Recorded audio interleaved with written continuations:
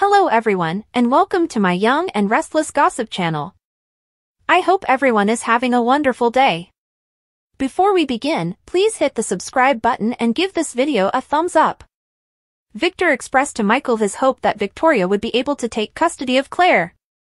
Michael questioned Victor's ability to predict Jordan's reaction to the bait. Michael was informed by Victor that Jordan's sole motivation for considering revenge was her conviction that Nikki and Victor were accountable for the demise of Jordan's sister, Eve Howard. Jordan might be keeping quiet, Michael speculated, happy that she avoided a life sentence. Michael was reminded by Victor that Jordan had set a prison on fire to get to Nikki. She will stop at nothing, unless we force her to stop, Victor proclaimed. Victor clarified that the idea was to give Jordan the impression that she was in control while he acted weak. Michael continued to wonder why Claire had to be the one to give the message. Victor restated Claire's willingness to assist and her belief that doing so would fortify her. Michael said he would give a few calls. He told Victor he could deal with the words in Claire's court judgment since they were sufficiently ambiguous. Admiring Michael's legal acumen, Victor referred to him as a smart cookie. Michael was met with Victor's words, I know you'll do the right thing. When Victoria and Cole got to Claire's hospital room, they saw her and tiny Nadia playing gin rummy. After Nadia prevailed in the game, a nurse led her outside. Claire admitted to her parents that although though Nadia and her problems had different origins, she understood Nadia's sentiments of fear and insecurity. Cole complimented Claire's compassion and wisdom. Claire was described by him as a positive influence on that little girl. Claire believed that Nadia had had a more beneficial impact on her. Experiencing things through Nadia's eyes was rejuvenating, Claire informed her parents. Claire described how her Aunt Jordan had prevented her from ever playing with other children and had done all in her power to make Claire feel inferior, even going so far as to cheat at games. Victoria felt repulsed. I detest that female, she was really mean. That kind of mental abuse shouldn't happen to any child, Victoria stated. Claire answered, I understand that now. Spending time with Nadia allows me to be on the other side and simply let her be a child even if I didn't experience it. There aren't any depressing lessons. Just for pleasure. Claire believed that she had turned a corner in her healing process thanks to her individual and group therapy as well as her meetings with the children. Claire conveyed to Victoria and Cole that the physicians shared her sentiments. That made Victoria delighted to hear. Claire was assured by Victoria and Cole that they were proud of her. Michael texted Cole and Victoria simultaneously, requesting a meeting, which cut off their chat. Michael and Victoria had a meeting at Society. They informed Michael that it was not possible because they knew about Victor's scheme to entice Jordan with Claire. Cole was interested to know why Victor had gone to Michael for help. Michael disclosed that Victor required legal assistance in order to have Claire discharged from the hospital. You can't be on board with this, can you? Victoria questioned Michael. Michael asked Cole and Victoria what they thought of Claire's development. They informed Michelle that although Claire was doing well, things were still quite new and brittle. They believed Claire wasn't ready to be let go, particularly if getting in touch with Jordan may result in a problem. Victoria was astounded that Victor would carry out his plan behind her back. Victor paid Claire a visit. He informed her that Nikki's life had been saved and the family owed her an apology. Claire adamantly maintained that she was the one with the debt. Claire said that until Jordan gave her a call, she was unable to deliver a message. Victor clarified, that's why I'd like Michael Baldwin to arrange for your early release. Victor was informed by Claire that she felt secure at the hospital.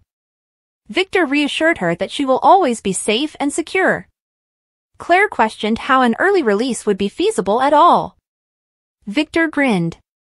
Leave it to me, he commanded. Claire calculated Victor's strategy. If Newman's kindness resulted in Claire's release, Jordan would be compelled to act and make a call. Victor was questioned by Claire, do I really have a say in this?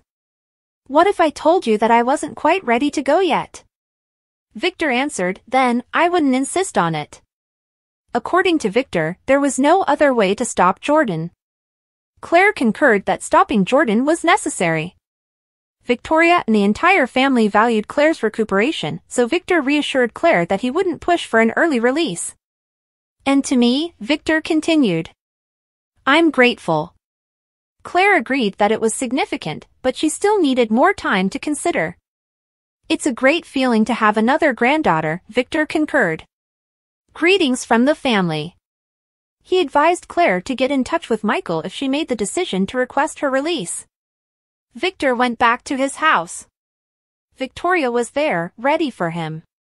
She questioned her father about how he was able to talk to Michael about his plan behind her back. Victoria was informed by Victor that he was taking every precaution to keep his family safe. Victor retorted with worries over Nikki's precarious condition as Victoria voiced her worries about the plan's impact on Claire's recuperation. Victor insisted he would protect Claire. Victoria remained unwavering. If you care so much about her health, then why are you trying to move her away from the doctors that are giving her all the help that she needs? Victor swore he would protect his granddaughter. Claire summoned a nurse to her quarters. I would like to make a phone call to my attorney, Michael Baldwin, said Claire, grinning. In the heart of Pinecrest, amidst the swirling currents of intrigue and ambition, Victor remained resolute in his determination to proceed with his plan. With a calculated precision and unwavering resolve, he forged ahead, guided by a singular vision of success. As he meticulously laid the groundwork for his scheme, Victor spared no expense in ensuring its success. Every detail was carefully considered, every contingency accounted for, as he navigated the intricate web of alliances and rivalries that defined life in Pinecrest. With each step forward, Victor's confidence grew, bolstered by the knowledge that victory was within his grasp. Despite the obstacles that lay in his path, he remained undeterred, drawing strength from the unwavering belief in his own abilities. Yet, beneath the facade of confidence, Victor grappled with doubts and uncertainties that threatened to undermine his resolve. The weight of his ambitions pressed heavily upon him, and the consequences of failure loomed ever larger in his mind. But as the moment of reckoning drew near, Victor pushed aside his doubts and fears, steeling himself for the challenges that lay ahead. With a steely determination burning bright within him, he pressed forward, ready to seize the opportunity that lay before him with both hands. And as the pieces of his plan fell into place, Victor knew that the time for action had come. With a sense of purpose driving him forward, he moved with a quiet confidence, knowing that the success of his scheme hinged upon his ability to remain steadfast in the face of adversity. With each passing moment, the stakes grew higher and the pressure mounted, but Victor refused to falter. Armed with unwavering determination and a strategic mind honed by years of experience, he pressed forward, ready to claim victory at any cost. As the final pieces of his plan fell into place, Victor stood on the precipice of greatness, poised to reshape the destiny of Pinecrest in his image.